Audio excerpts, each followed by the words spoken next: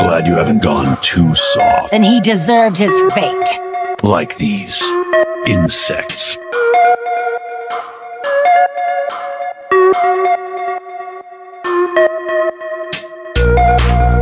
Because you're Nolan's son, I'll make this quick. Mark, what are you doing? She's tearing you apart! Yeah, I noticed. You're fighting like you're on Earth. This is different. Stop holding back, or you're gonna get us both killed. I'm not holding back. Yes, you are. She's trying to kill you, Mark. If you're not trying to kill her, you're going to die.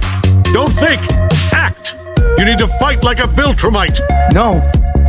I don't kill people. If you don't do this, we're all dead. You, me, your brother, and every single Thraxan on this planet.